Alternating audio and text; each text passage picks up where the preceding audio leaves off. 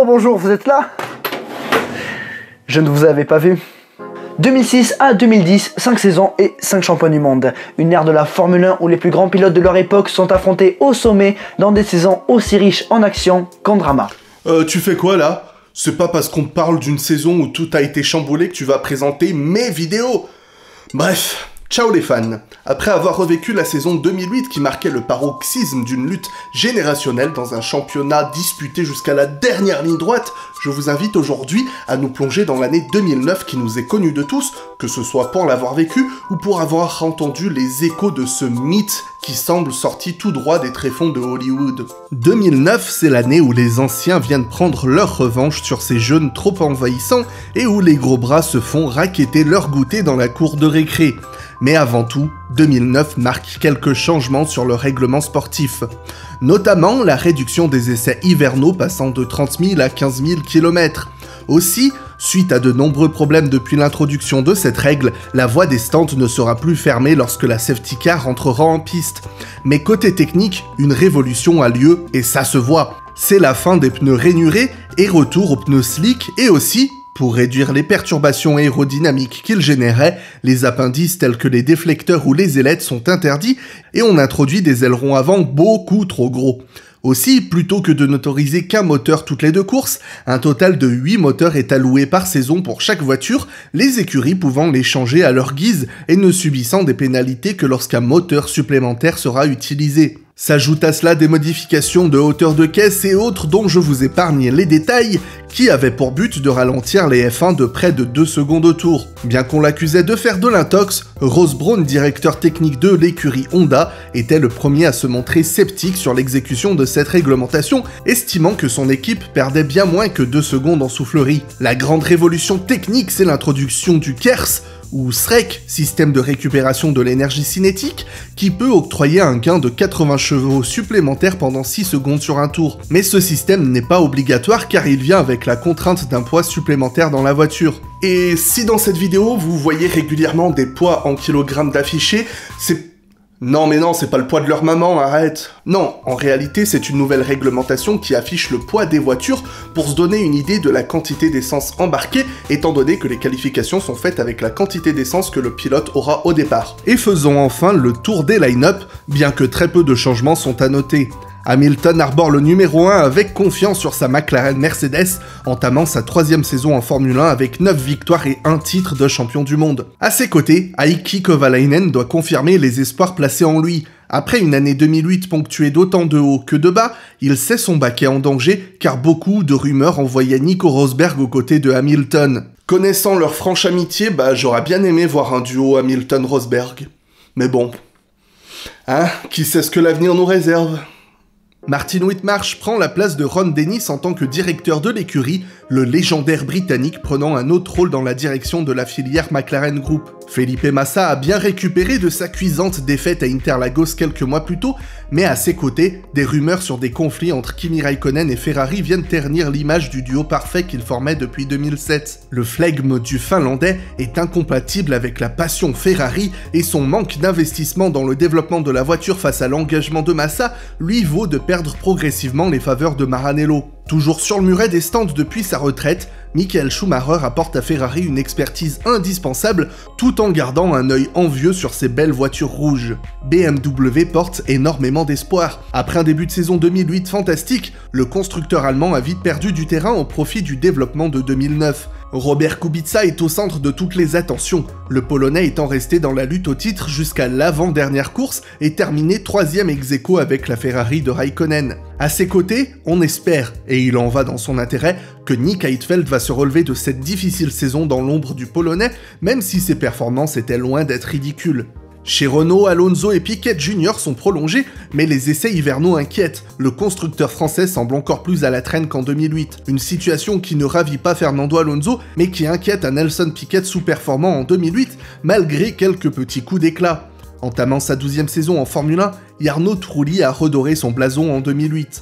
L'Italien pourrait sauver son image en Formule 1 si les rumeurs voulant le départ de Toyota venaient à se confirmer. Mais c'était une bonne saison en 2008 pour l'écurie qui prolonge aussi Timo Glock suite à une seconde partie de saison brillante. Après une année 2007 encourageante, Williams a fait un nouveau pas en arrière en 2008. Peut-être le manque d'expérience de leur line-up en est la cause, mais les solides performances qualificatives et les deux podiums de Nico Rosberg sont la preuve que le talent est là. Quant à Kazuki Nakajima, difficile de se prononcer, le rookie ayant été dans l'ombre de Rosberg, malgré de beaux dépassements. Toro Rosso aura créé la surprise dans le milieu du peloton en 2008.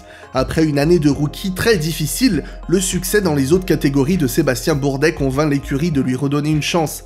À ses côtés, Sébastien Buemi, pur produit junior de Red Bull, fera ses débuts, mettant davantage de pression aux pilotes français avec Rémi Alguersuari et Brendan Hartley en attente d'être titularisés dans le fond du garage. Si l'arrivée du flamboyant Sébastien Vettel dans une Red Bull méticuleusement dessinée par le brillant Adrian Newey peut être un motif de positivisme dans la firme autrichienne, il y a de grandes inquiétudes à Milton Keynes pendant l'hiver.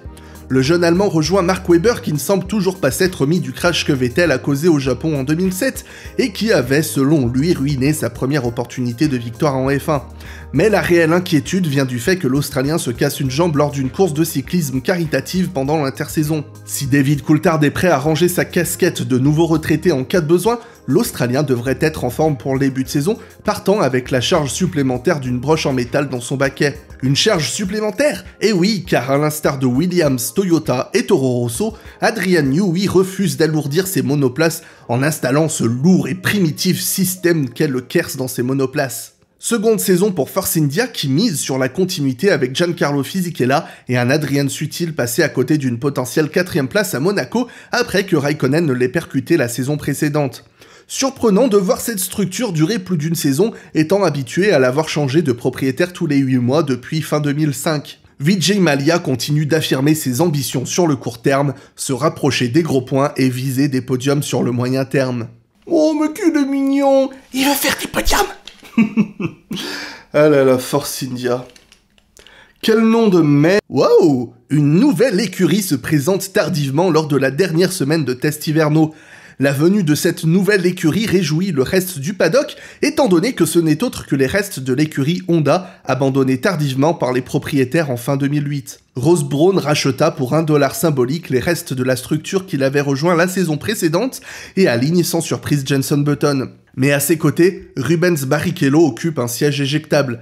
Bien que Braun veuille réellement le conserver dans son équipe, il fait savoir aux Brésiliens que si un pilote payant venait à proposer ses services, la situation financière de l'équipe le forcerait à accepter. L'ensemble du paddock s'unit pour aider l'écurie Honda, renommée Braun Grand Prix, à revenir dans la discipline. Ferrari propose de leur fournir des moteurs avant que Mercedes ne leur tende également la main. Le moteur allemand étant plus facile à adapter au châssis développé pour cette saison, Braun courra avec des moteurs à la marque de l'étoile. Si on n'attend rien de miraculeux de cette équipe en termes de performance suite à ce rachat de dernière minute et des saisons 2007 et 2008 désastreuses, peu seront surpris de les voir avec plus de 2 secondes devant sur la fiche des temps. Après tout, les essais hivernaux ne reflètent en rien la hiérarchie réelle des monoplaces, et comme beaucoup d'équipes dans le passé, on pense que Braun roule avec très peu d'essence afin d'attirer des investisseurs sur une livrée vierge de sponsors et sobrement peinte de jaune fluo. Hamilton Massa, deuxième round. Kimi Raikkonen va-t-il se relever d'une fade saison 2008 BMW seront-ils au niveau pour aider Robert Kubica à confirmer son excellente saison 2008 en remportant le titre? Red Bull vont-ils créer la surprise? Eh bien, ne tardons pas et commençons cette saison 2009 en Australie. La séance de qualification s'achève et tout le monde se demande avec engouement C'est quoi ce bordel? Les nouvelles Braun Grand Prix verrouillent la première ligne, Jenson Button signant la quatrième pole position de sa carrière devant Rubens Barrichello.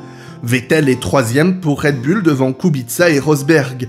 Les Ferrari de Massa et Raikkonen sont seulement 6e et 7e, et chez McLaren, Kovalainen est 12e et Hamilton 18e. Braun, Toyota et Williams avaient trouvé une faille dans le règlement qui leur permit de développer un double diffuseur qui leur offrait un avantage d'adhérence face au reste du plateau. Lorsque les 5 feux s'éteignent, Button s'envole alors que Barrichello rate son départ.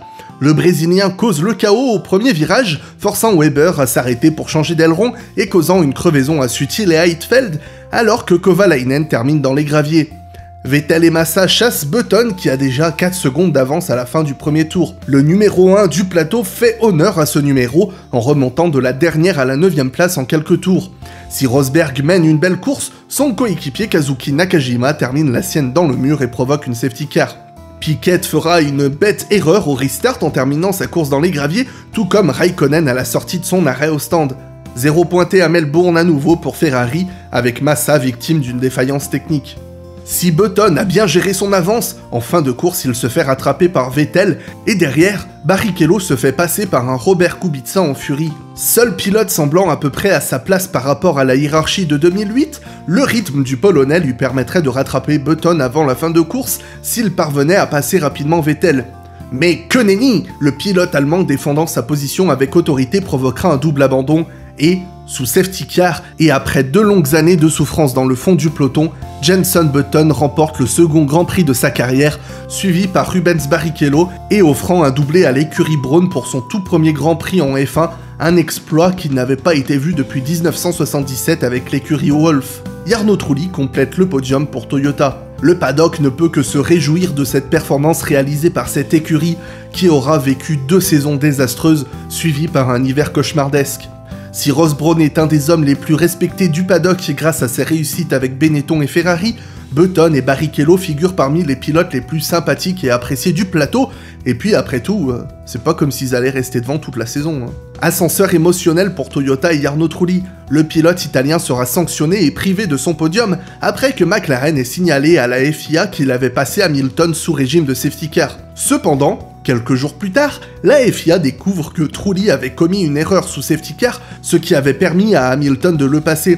Dans le doute, le champion du monde en titre avait demandé à son équipe ce qu'il devait faire et on lui avait demandé de laisser repasser Trulli. Hamilton est donc disqualifié à cause des propos calomnieux de son équipe et Trulli conserve son podium devant son coéquipier Timo Glock, Alonso, Rosberg, Buemi entrant dans les points pour son premier Grand Prix devant Sébastien Bourdet. La hiérarchie continue de surprendre en Malaisie. Button signe une nouvelle pole position, un dixième devant Trulli et Glock. Sous un ciel peu rassurant, Rosberg prend un excellent départ et la tête de la course devant Trulli, Alonso et Button. Kubica abandonne sur pas de moteur et Kovalainen dans le gravier. Button repasse Alonso et profite des relais plus courts de Trulli et Rosberg pour reprendre la tête lors des arrêts au stand. Le ciel s'assombrit drastiquement et lors de son ravitaillement, Raikkonen prend le pari de chausser des pneus pluie. Mais il s'arrête beaucoup trop tôt et lorsque la pluie fait son apparition, le Finlandais a perdu beaucoup de temps et détruit ses gommes. Glock prend le pari de chausser des intermédiaires et est rapidement l'homme le plus rapide en piste en troisième place. Il revient comme un boulet de canon sur Nick Heidfeld et le dépasse. Mais la pluie devient torrentielle et après que Buemi, Fisichella et Vettel terminent dans le bac à gravier, la FIA brandit les drapeaux rouges. Longue attente sur la grille de départ, alternant les bredouillements des commentateurs ne sachant pas comment combler le temps d'antenne, et scène cocasse chez Ferrari entre un Felipe Massa tendu qui sera calmé par une de mes punchlines préférées de son ingénieur Rob Smedley.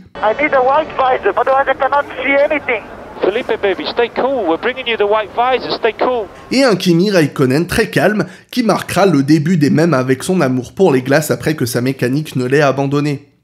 L'attente semble interminable et si la pluie ne s'arrête pas, le soleil couchant force la FIA à mettre un terme à la course. C'est tellement génial de se lever à 7h du mat, voir 40 minutes de course et poireauter 2 heures de drapeau rouge pour que dalle. Pour la cinquième fois de l'histoire, seule la moitié des points sera distribuée étant donné que moins de 75% de la course a été effectuée. Button remporte alors un second succès miraculeux pour Braun, mais le résultat de la course étant compté à partir du classement établi lors de l'avant-dernier tour, Heidfeld reprend sa deuxième place et termine devant Glock. Trulli est quatrième devant Barrichello, Weber et Hamilton ouvrent les compteurs de Red Bull et McLaren alors que Rosberg est huitième. Button et Braun creusent donc l'écart au championnat devant les Toyota de Trulli et Glock. Mais dans ces conditions plutôt folles et avec la moitié des points de distribuer, on s'attend à revoir les gros bras revenir en forme. Mais ce ne sera pas en Chine que la tendance va s'inverser. Au contraire, c'est au tour des Red Bull de briller. Sébastien Vettel surmonte un problème de boîte à vitesse pour signer la seconde pole position de sa carrière et la première de Red Bull devant Alonso et Weber. Dans des conditions pluvieuses, le jeune Allemand prouve à nouveau son agilité et remporte le Grand Prix, suivi par Weber qui aura fait preuve de la supériorité de la monoplace ce week-end grâce à une lutte magnifique face à Button, troisième pour offrir la première victoire et le premier doublé de l'écurie autrichienne. Ce podium constitué d'un gamin éblouissant depuis ses débuts, deux pilotes qui semblaient ne pas pouvoir être en Formule 1 quelques semaines plus tôt, l'un par manque de baquet et l'autre en convalescence, semble être l'allégorie que peu attendaient. Cette saison, c'est au tour des outsiders inattendus de briller.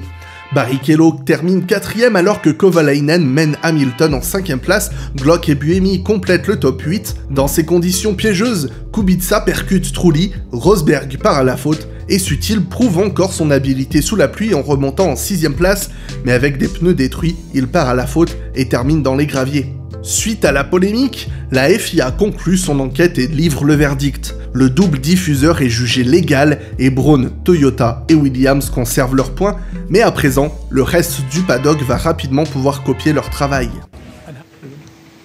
I like a lot the decision. Après un début de saison remarquable, les Toyota n'ont pas l'intention de se laisser faire à Bahreïn, et Arnaud Trulli montre une nouvelle fois l'étendue de son talent sur un tour pour signer la quatrième pole position de sa carrière devant son coéquipier et. Au départ, Glock profite d'un réservoir plus léger pour prendre la tête de la course et creuser l'écart, alors que Hamilton s'envole de la cinquième à la deuxième place avant que Trulli ne récupère son bien. Mais les Toyota ne font pas illusion. Leur réservoir moins rempli que leurs concurrents les force à s'arrêter plus vite et se font passer par Vettel et Button. Button mène devant Vettel et Trulli et remporte son troisième succès de la saison. Le Britannique ne voit plus là qu'un simple miracle éphémère. Sa monoplace peut sérieusement lui permettre, pour la première fois de sa carrière, de se battre pour le titre en menant 12 points devant Barrichello et 13 devant Vettel. Hamilton est quatrième devant Barrichello, en difficulté ce week-end. Raikkonen sixième ouvre le compteur de Ferrari avec beaucoup de retard. Glock est seulement septième devant Alonso. Incroyable de voir que les BMW de Kubica et Heidfeld, si impressionnantes en 2008, sont bonnes dernières ce week-end. Pole position pour Button en Espagne, mais au départ, son coéquipier prend la tête.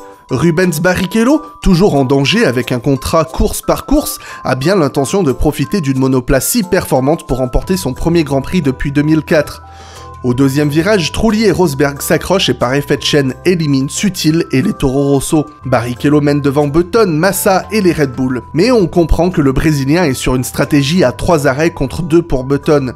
Le rythme du Brésilien ne sera pas suffisant pour rester devant et Button mène alors le second doublé de la saison de Braun, Weber complétant le podium. Massa menait devant Vettel, mais un problème de pompe à essence l'oblige à ralentir pour ne pas repasser au stand et Vettel et Alonso le passent dans les derniers tours. Heidfeld est 7ème et Rosberg, survivant de l'incident du premier tour, est 8ème.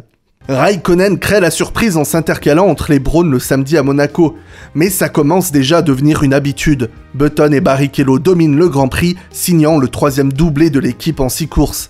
Symbole du long chemin parcouru depuis ce début de saison, Button n'est pas familier avec la cérémonie du podium monégasque et rentre dans le parc fermé après la course au lieu de se garer sur la ligne droite d'arrivée et rejoint le podium en courant. L'émotion est d'autant plus forte pour le Britannique qui s'impose sur ce tracé que tant de pilotes rêvent de remporter.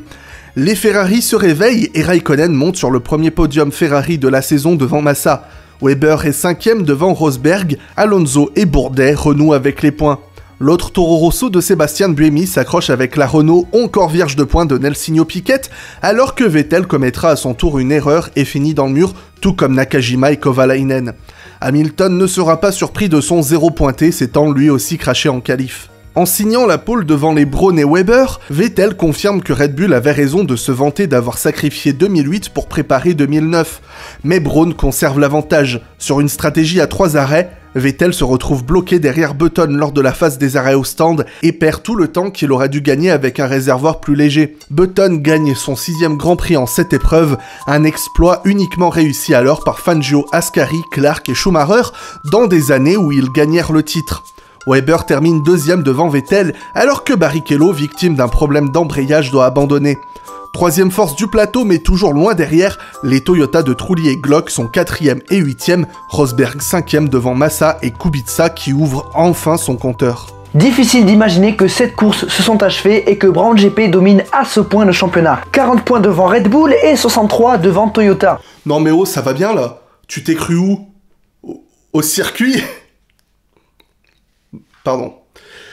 Button et Barrichello se montrent à la hauteur des espérances placées en eux, bien que Button semble sur une autre planète, 26 points devant son coéquipier, toujours sous la menace d'un éventuel pilote payant. Malgré sa domination, Braun n'attire aucun sponsor majeur et les difficultés financières se font ressentir dans la course au développement.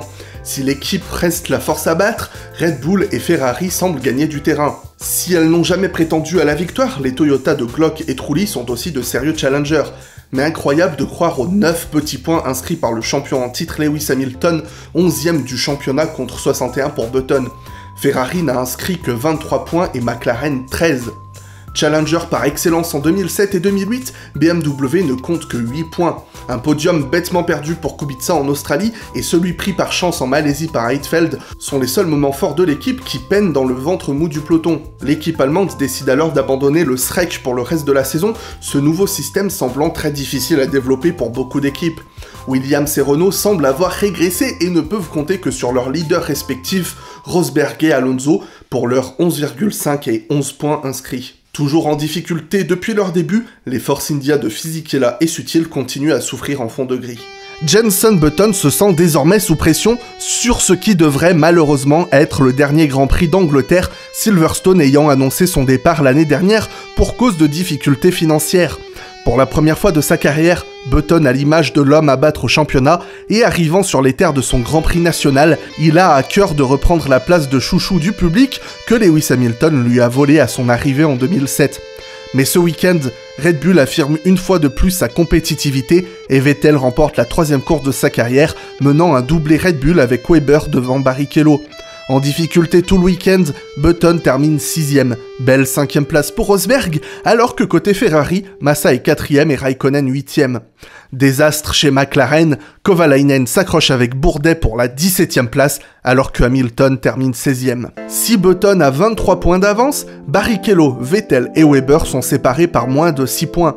Vettel a déjà récolté deux victoires pour Red Bull, mais Weber, encore boiteux de son accident pendant l'hiver, est le plus régulier des deux mais après 8 saisons en Formule 1, le grand Marc a compris que cette RB5 est sa première réelle opportunité de se battre pour des victoires. Sur les terres où deux ans plus tôt il profitait du chaos pour ramener un podium inespéré à Red Bull, Weber signe la première pole position de sa carrière devant Barrichello, Button et Vettel. La surprise de cette séance de qualif, ce sont les 5e et 6e places des McLaren, mais surtout la 7e place de la Force India d'Adrian Sutil qui offre à son équipe la première Q3 de son histoire. Weber rate son départ et Barrichello tente de lui chipper la tête, mais l'Australien le tasse au point qu'il se heurte. Hamilton profite du chaos et d'un excellent départ pour tenter sa chance, mais une touchette lui donne une crevaison. Jugé coupable, Weber sera sanctionné d'un drive-through, anéantissant ses chances de première victoire.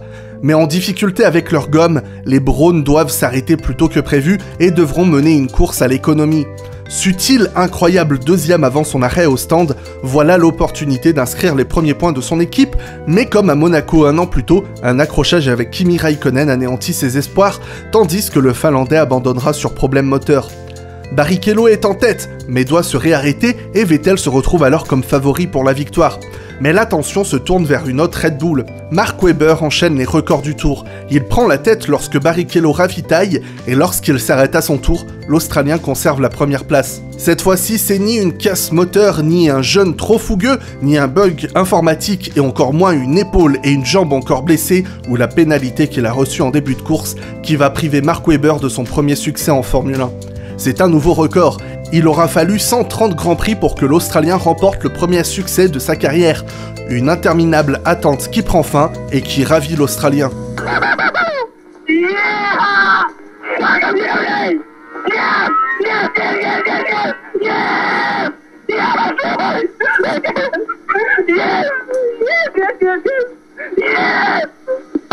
Troisième doublé de Red Bull célébré par la prolongation de leur pilote pour 2010. Troisième, Massa signe le deuxième podium de Ferrari cette saison.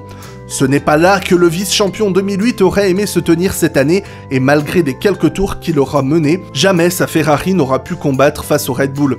Parti 15e, Rosberg termine 4e devant les Browns qui, pour la première fois de la saison, ne sont pas sur le podium. Alonso 7e renoue avec les points tout comme Kovalainen. I said to so many people uh, coming to this race this week, I want to hear that Australian national anthem in Germany, and uh, and uh, the only way I can hear it in my sport is if uh, if I win, and uh, there's no other way I can hear it. Uh, I was happy that the race wasn't handed to me. I had to work for it. It's a it's a Grand Prix that I can be very proud of winning, and it was good. It was a good show from from the team how to lose a race today. I did all I had to do. I had to go first on the first corner. That's all I did. If it is really what's what's going on, it's we're going to end up uh, losing both uh, championships, and that's uh, that's that's even more terrible. we had a problem with the fuel rig, so when he came out, he was behind Rosberg, and yeah, those things happen occasionally in the pit lane. There was no capacity to, to win the race. I mean, Rubens had the 11th fastest time of the race today. You can't win a race, whatever strategy you have, if your, if your best lap time is the 11th quickest. It's not possible. Dernier Grand Prix en Formule 1 pour Sébastien Bourdais qui se termine sur une panne hydraulique. Après avoir été dominé par Vettel et pas assez fantastique pour la filière Red Bull face à Sébastien Buemi, le Français est mis à la porte. Rémi Alguersuari prendra sa place au prochain Grand Prix, devenant ainsi le plus jeune pilote de l'histoire du sport à l'âge de 19 ans. Entré en F1 à 19 ans. Vous imaginez ça, vous? C'est aberrant. Bref, la course automobile a toujours été un sport extrêmement dangereux et c'est une réalité qui frappe le paddock lors de la séance de qualification du Grand Prix de Hongrie. Inexplicablement, Felipe Massa est encastré contre le mur de pneus à la sortie du virage 4. Sa Ferrari n'est pas endommagée mais le pilote brésilien reste immobile et on entend au bruit de son moteur que son pied continue d'accélérer sur la pédale. Les commissaires de course tirent des draps blancs devant sa voiture alors qu'arrive l'hélicoptère médical. On passe en boucle la caméra embarquée de sa Ferrari qui ralentit subitement et part étrangement tout droit dans le mur sans que le pilote ne ralentisse ou tourne son volant. Silence radio inexplicable jusqu'à ce que l'on comprenne qu'un élément s'est détaché de la braune de Rubens Barrichello quelques mètres devant lui et est venu percuter son casque de plein fouet. Très vite, de terrifiantes images font le tour du monde alors qu'on apprend que le Brésilien est dans le coma. Réminissant de l'accident mortel d'Ayrton Senna, la protection de la tête des monoplaces est à nouveau remise en cause. Une semaine plus tôt, Henry Surtis, fils de John Surtis, champion du monde de 1964, s'est tué lorsqu'une roue perdue dans un crash percuta son casque lors d'une course de Formule 2. Le chaos s'empare de cette séance de qualification qui se termine par une panne technique qui tarde à révéler les chronos officiels mais à la vue de la situation, l'incroyable pole position de Fernando Alonso passe inaperçue. L'ambiance sur la grille de départ est morose, bien qu'il semble assez étrange de trouver inhabituel de voir deux McLaren dans le top 6, suivis par Raikkonen. Button seulement 8ème et Barrichello 13ème est la preuve que le manque de développement de la Brown commence à se faire sentir. Alonso s'envole au départ et alors qu'il semble prêt à accomplir un miracle, son équipe rattache mal sa roue lors de son arrêt au stand, le forçant à s'arrêter de nouveau avant d'abandonner sur problème technique. Lewis Hamilton récupère donc la première place et gagne son premier Grand Prix de la saison devant Raikkonen. Si aujourd'hui ce sont ces deux-là qui ne semblent pas à leur place, un an plus tôt, ça aurait été Mark Webber qui aurait fait tâche sur le podium. Rosberg est quatrième devant Kovalainen, Glock, Button et Trulli. Vettel abandonne et Barrichello est dixième. A sad day for us to see Felipe not here with us today, and um, uh, hopefully I speak on behalf of all of us. We we miss him and uh, wish him well and hope him wish him a speedy recovery. De bonnes nouvelles durant l'intersaison lorsqu'on apprend que Felipe Massa est sorti de l'hôpital et est rentré au Brésil, bien que son retour en Formule 1 soit toujours incertain. Les rumeurs les plus folles quant à son remplaçant deviennent réalité lorsque Michael Schumacher reprend son casque et fait quelques tours d'échauffement pendant l'été. Mais à cause d'un accident de moto quelques semaines plus tôt, il est déclaré inapte et Ferrari donne donc le baquet à son fidèle pilote essayeur depuis près de 10 ans, Luca Badoer. Renault informe également le licenciement de Nelson Piquet Jr.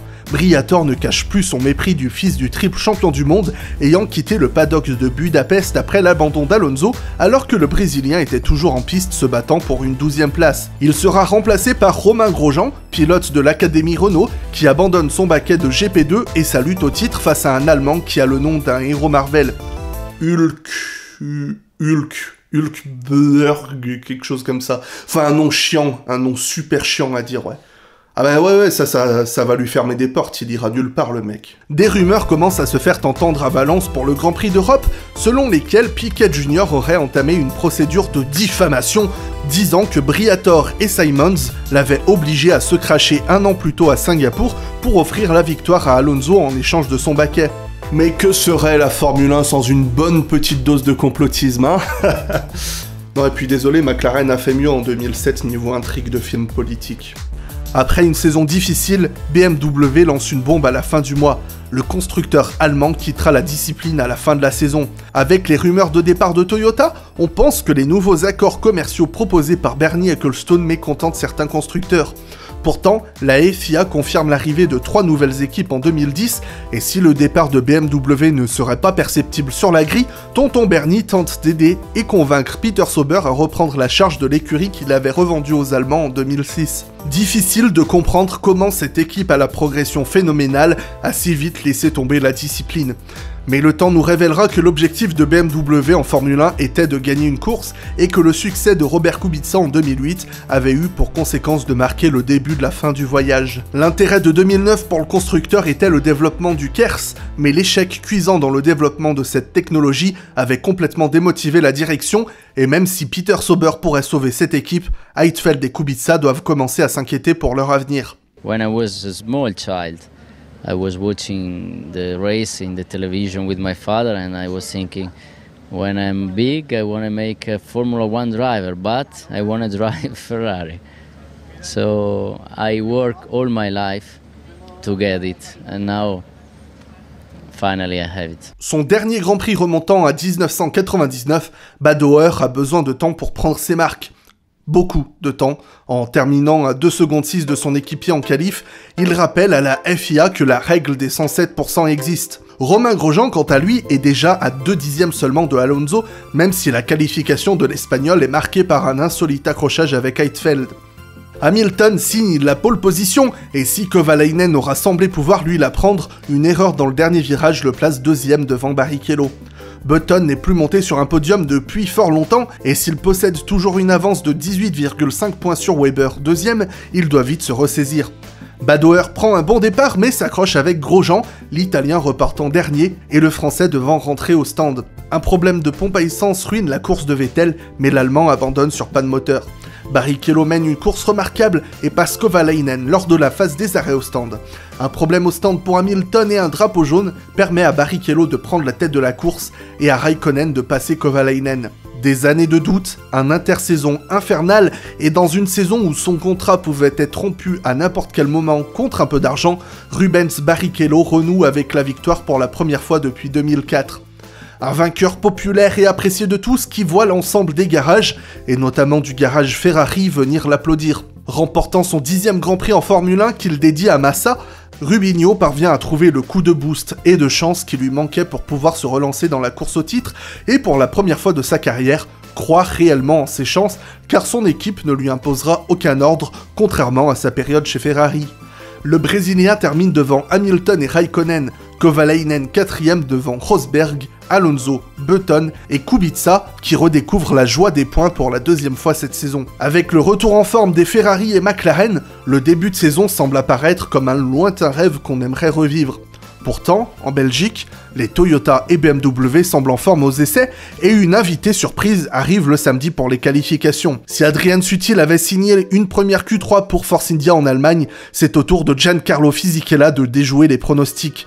Le pilote italien crée l'une des plus grosses surprises de cette saison, c'est dire à quel point c'est un exploit, en signant la quatrième pole position de sa carrière et la première de Force India. Habitués à les voir en fond de gris depuis leur arrivée en 2008, l'écurie indienne n'explique pas cette performance autrement qu'en tirant parti de leur manque de grip pour profiter d'une meilleure vitesse de pointe sur ce circuit de vitesse pure. Trulli est deuxième alors que les BMW se rappellent au bon souvenir de tous, Heidfeld prenant le troisième temps et Kubica le cinquième. Giancarlo, what will you do if you get a phone call on Monday inviting you to race for Ferrari at Monza? Um, I'll think about that. we'll see. You know, we are on pole today. Au départ, Fisichella s'envole devant Raikkonen qui prend un bon envol tout comme Kubica. KO au premier tour lorsque Romain Grosjean accroche un Jenson Button parti seulement 14e. Premier abandon de la saison du Britannique qui verra encore son avance fondre à la fin du Grand Prix. Hamilton et Alguersuari, également victimes de l'accident, abandonnent alors que la voiture de sécurité entre en piste. Lorsque la course reprend, Raikkonen profite de l'avantage que lui confère son Kers pour dépasser la Force India. Si Fisichella est plus rapide que Raikkonen, l'avantage moteur de la Ferrari permet aux Finlandais de conserver l'avantage dans les zones de dépassement et grâce à son légendaire sang-froid, le champion 2007 remporte la première course de Ferrari de cette saison. Si échouer si près de la victoire peut décevoir Fisichella, qui pour la durée d'un Grand Prix a revécu ces années où il se battait aux avant-postes avec Renault, cette deuxième place est un miracle pour Force India. Si c'est le premier podium de l'histoire de l'écurie sous ce nom, l'équipe doit remonter à une époque où elle était encore nommée Jordan pour se souvenir de son dernier podium. Et si on oublie ce dernier podium obtenu dans des conditions disgracieuses en 2005 aux États-Unis, ce n'est autre que Giancarlo Fisichella lui-même qui avait remporté son premier Grand Prix et le dernier de l'écurie au Brésil 2003 devant Raikkonen qui avait été déclaré vainqueur par erreur. Vettel prend la troisième place devant Kubica, Heidfeld, Kovalainen, Barrichello et Rosberg qui entrent dans les points pour la huitième fois consécutive. Et pour rester sur les statistiques, en terminant 5 Nick Heidfeld établit un nouveau record en terminant un Grand Prix pour la 40e fois consécutive. Voilà, c'était des stats inutiles, mais t'iras de coucher moins bête. C'était sans doute plus un cadeau de remerciement pour ses 9 années de service en tant que pilote essayeur, mais Luca Badoer n'aura pas la chance de prendre part à son Grand Prix national à Monza. Hors du rythme en qualifié en course, Ferrari surprend tout le monde en signant Giancarlo Fisichella pour la fin de saison. Ferrari compte sur l'expérience de l'Italien pour s'adapter rapidement à cette capricieuse F60, alors que Fisico voit là une opportunité de rêve pour lentement préparer sa fin de carrière. Uh, the first time I put the, red shirt, t-shirt on and uh, the cap, uh, I was watching myself on the mirror and I said, oh my god. Force India gagne au change puisque Ferrari rachète le contrat de Fisichella et peut alors placer vite Antonio Liuzzi, son troisième pilote, qui attend sa chance depuis plus de un an et demi. En plus d'être déjà habitué à la voiture, la dernière course de Liuzzi remonte à 2007 et il devrait rapidement se remettre dans le rythme. Et Force India continue d'impressionner, Sutil se qualifie deuxième derrière Hamilton et devant Raikkonen. Quant à Fisichella, il n'est qu'à 5 dixièmes de Raikkonen, mais ce sera la 14e place et il finira à la porte des points en 9e place. Liuzzi, 7ème sur la grille, abandonne sur panne mécanique après avoir mené une course exceptionnelle à se battre pour une place sur le podium. Il ne reste que 5 courses et il est temps de s'inquiéter du championnat pilote. Transparent depuis sa dernière victoire à Istanbul, Button a accumulé les petits points et conserve 16 points d'avance sur Barrichello. Le Brésilien est en forme depuis sa victoire à Valence et possède 3 points d'avance sur Vettel et 4,5 sur Weber. Week-end difficile pour Red Bull. L'Australien ne passera pas le premier tour, bousculé dans le chaos du départ, et Vettel terminant 8ème. Avec beaucoup plus d'essence que ses rivaux et sur une stratégie à un seul arrêt, Rubens Barrichello s'arrête plus tard et grâce à un rythme de course remarquable, réussit l'overcut pour conserver la tête de la course. Sutil est dans la lutte pour un premier podium avec Hamilton, Raikkonen et Button, mais l'Allemand fait une erreur au stand et termine quatrième. Grâce à une stratégie à un seul arrêt, Button prend la deuxième place. Le leader du championnat n'est plus monté sur un podium depuis sa dernière victoire en Turquie. Ce stress permanent d'échouer dans sa première et peut-être seule opportunité de se battre pour un titre mondial l'a transformé en mathématicien se contentant de jouer sur la sécurité et accumuler les petits points. Et sous la pression de Hamilton, Button ne peut plus se permettre de jouer des petits points. Son coéquipier domine le peloton ce dimanche et la Braun numéro 22 passe les derniers tours à se défendre mais le champion du monde en titre, Lewis Hamilton, surpilote dans le dernier tour et se met dans le mur. Barrichello remporte son second succès de la saison et mène le quatrième doublé Braun, Raikkonen complétant le podium. Les tifosi sont en ébullition et la troisième place de leur écurie de cœur n'y est pour rien. Dernier vainqueur à Monza pour la Scuderia, Barrichello est accueilli et célébré comme s'il portait encore la combinaison rouge qui l'avait tant rempli de désespoir au début de la décennie. C'est un choc, une honte dans le paddock de Singapour et le monde de la Formule 1. Les accusations de Nelson Piquet Jr. n'étaient pas juste les mots vengeurs d'un pilote licencié. Flavio Briatore et Pat Simons ont bel et bien demandé aux Brésiliens de se cracher volontairement un an plus tôt pour faire gagner Fernando Alonso. L'idée avait germé après le Grand Prix d'Allemagne où Piquet était monté sur le podium grâce à une safety car tombée au bon moment. Si le fait d'avoir fait partir Alonso avec si peu d'essence en était un indice, c'est surtout la manière dont Piquet s'est craché qui en est l'évidence. Briator et Simon sont radiés des paddocks, quant à Renault, l'équipe est en sursis jusqu'en 2011, tandis que ING, son sponsor titre, se retire avec effet immédiat.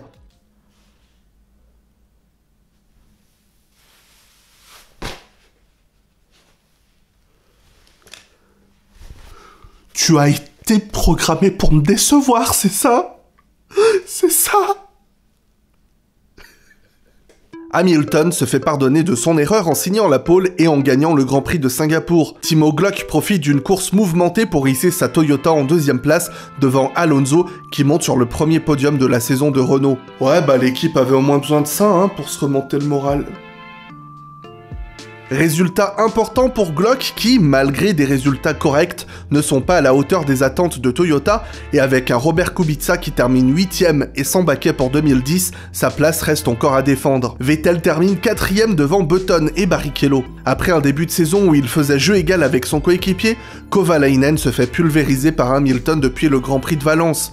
Le Finlandais est également sans contrat pour 2010 et sa 7ème place ne va pas l'aider. Pour la première fois depuis le Grand Prix des États-Unis 2007, Nick Heidfeld ne voit pas l'arrivée à cause d'un Adrian Sutil un petit peu trop fougueux. Nico Rosberg voit tous ses espoirs ruinés à la sortie de son arrêt au stand lorsqu'il coupe la ligne blanche en perdant le contrôle de sa Williams, et la malchance s'accumule pour Mark Webber Grand Prix après Grand Prix lorsque ses freins décident de l'abandonner. Le Grand Prix du Japon revient à Suzuka après une halte de deux saisons à Fuji.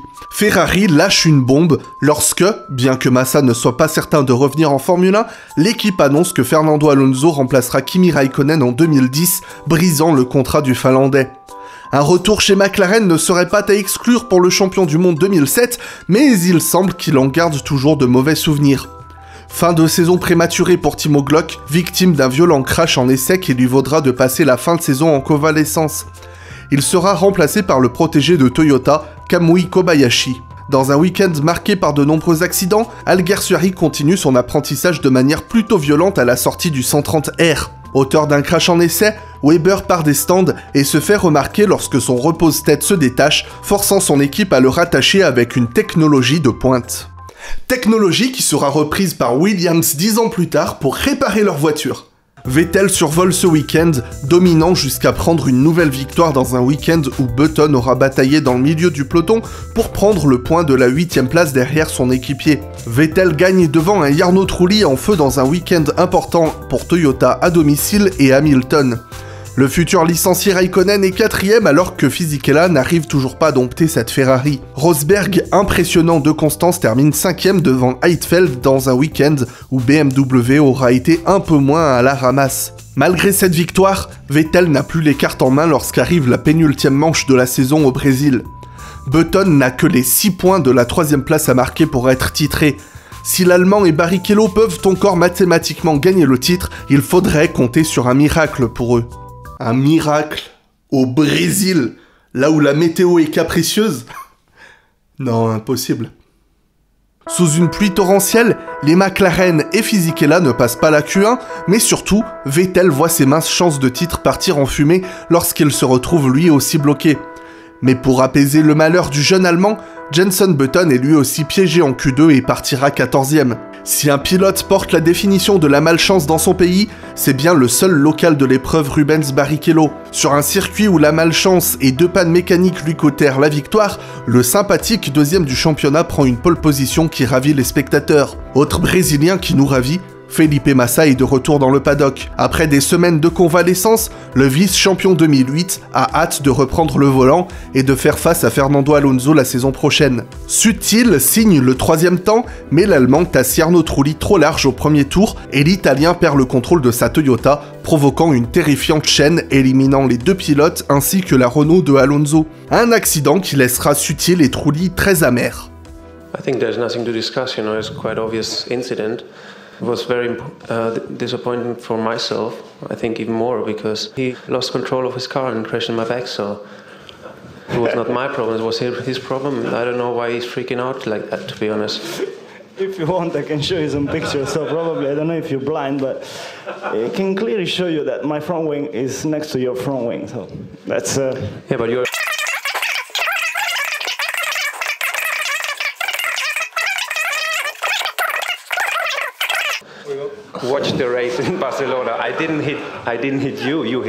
Après une touchette avec Weber au premier tour, Raikkonen rentre au stand changer d'aileron.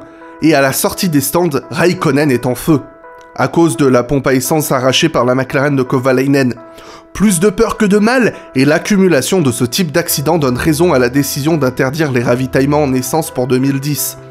Button délivre une des meilleures performances de sa carrière pour remonter dans le peloton, dépassant Grosjean pour la 8 place, puis Nakajima et Kobayashi avec Vettel dans son sillage.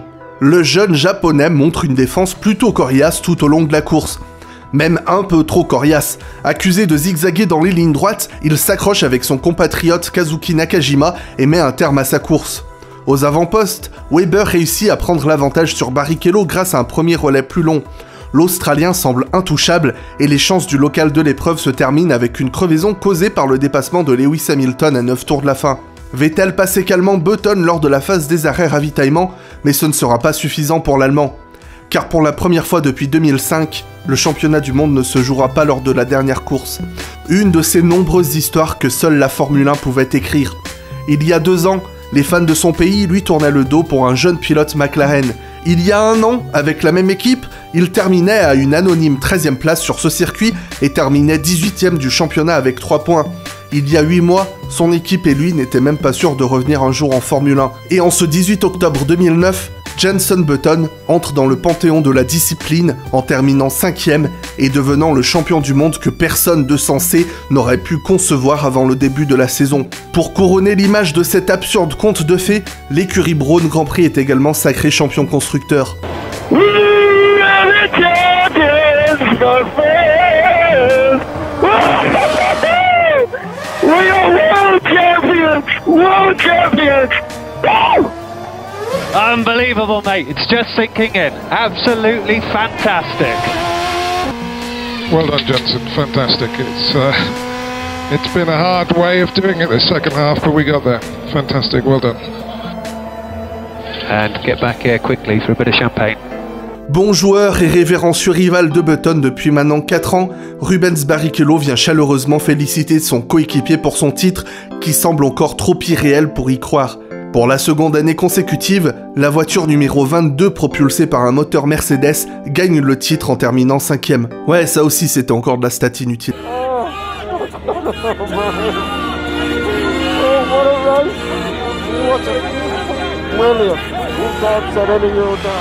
La célébration de ce miracle fait beaucoup d'ombre sur le reste du plateau, mais en début d'année, un autre pilote n'était pas certain de revenir en Formule 1 et il remporte aujourd'hui le deuxième Grand Prix de sa carrière. Mark Webber est le premier pilote à voir le drapeau à damier symboliquement brandi par Felipe Massa. Après une saison remplie de désillusions, Robert Kubica monte sur son premier podium de cette saison et le deuxième de la saison de la future disparue BMW, et Hamilton complète le podium. Et pour clore la saison, quoi de mieux qu'un magnifique nouveau circuit? Le nouveau Grand Prix de Abu Dhabi se démarque par ses luxuriantes infrastructures, ses hôtels qui changent de couleur, et surtout par un Grand Prix qui commence le jour et se termine la nuit.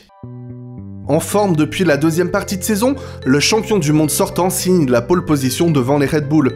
Mais victime d'un problème de frein, Hamilton doit abandonner. C'est le premier abandon technique de sa carrière. Nouveau doublé Red Bull, mené par Vettel devant Weber s'étant brillamment défendu de Button qui ferme le podium.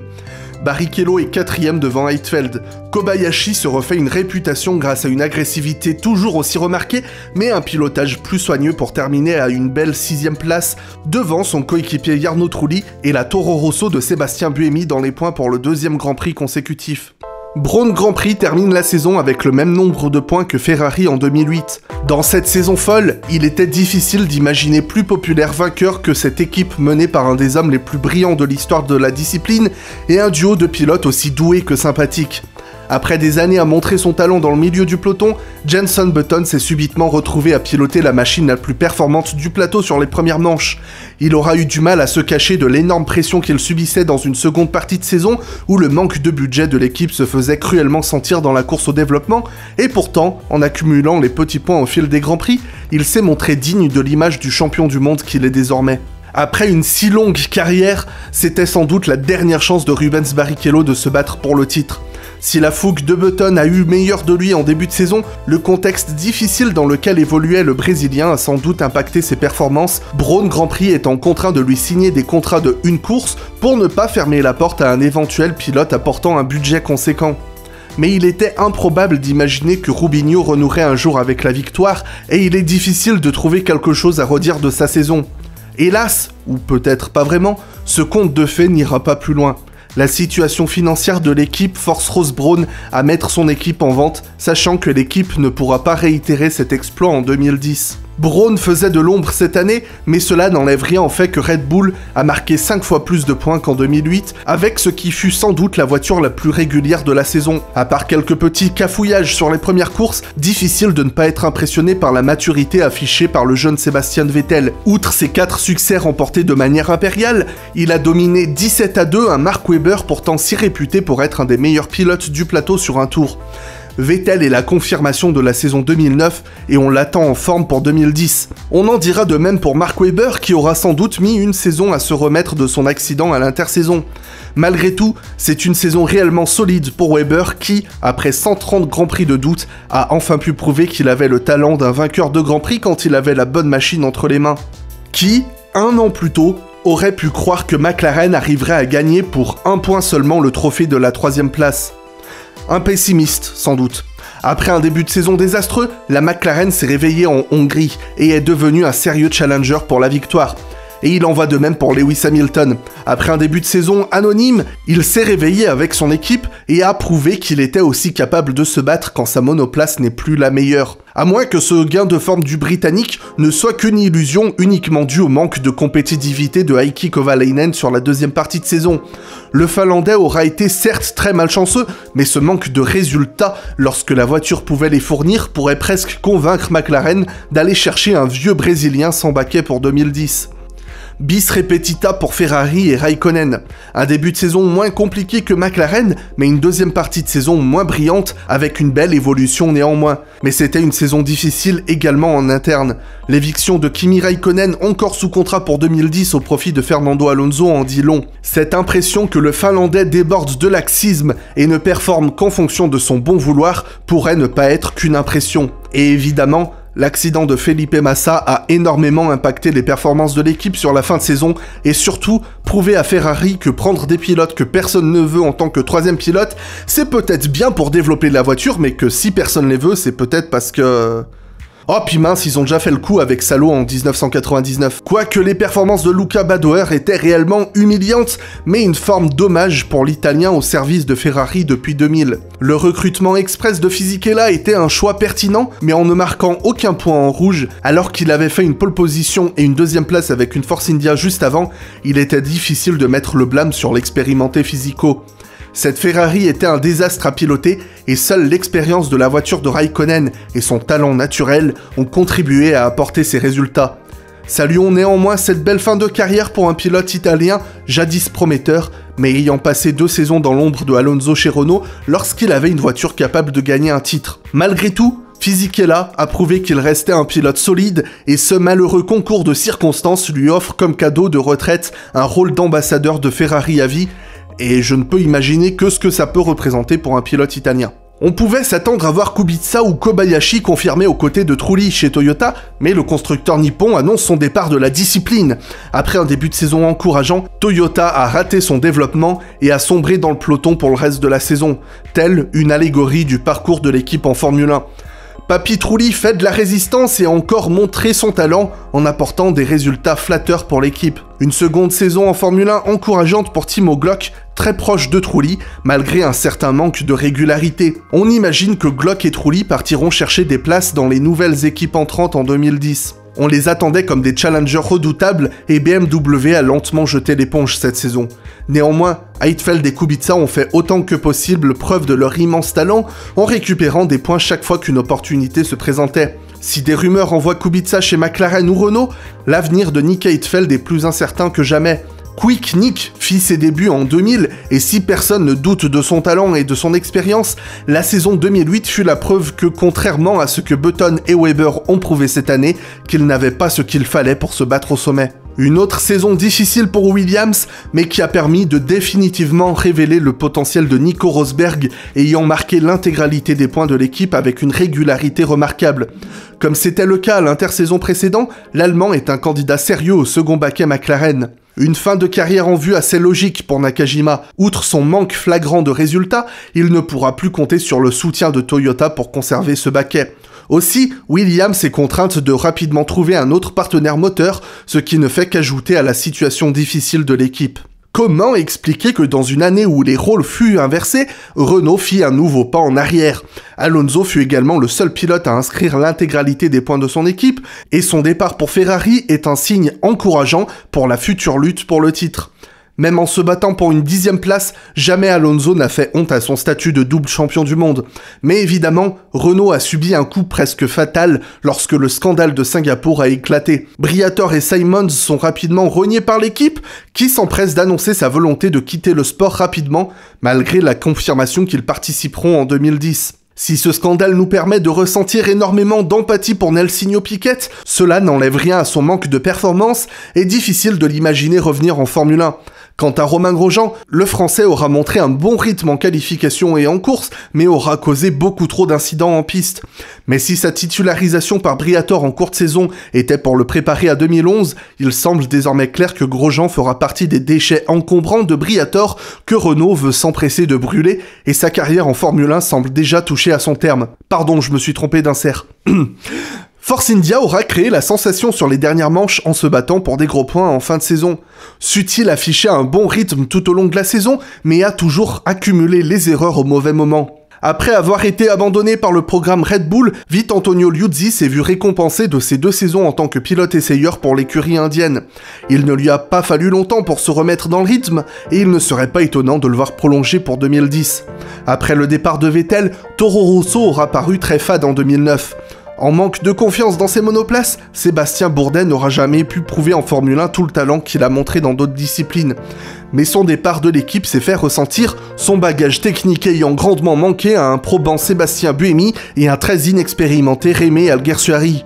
À l'aube d'une nouvelle décennie, la Formule 1 nous semble plus incertaine que jamais. Janson Button pourra-t-il défendre son titre fraîchement acquis ou devra-t-il faire face au retour de Ferrari et McLaren? Non mais c'est bon là, hein Tu vas me laisser finir peut-être?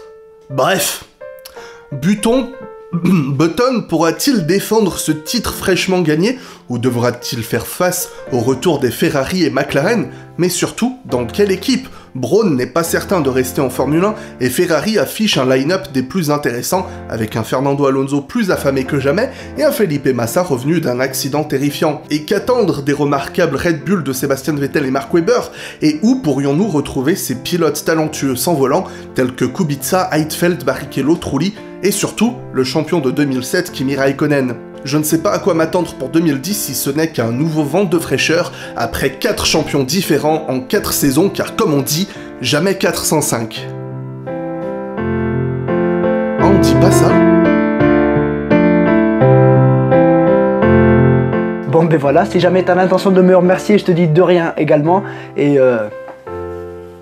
Salut les fans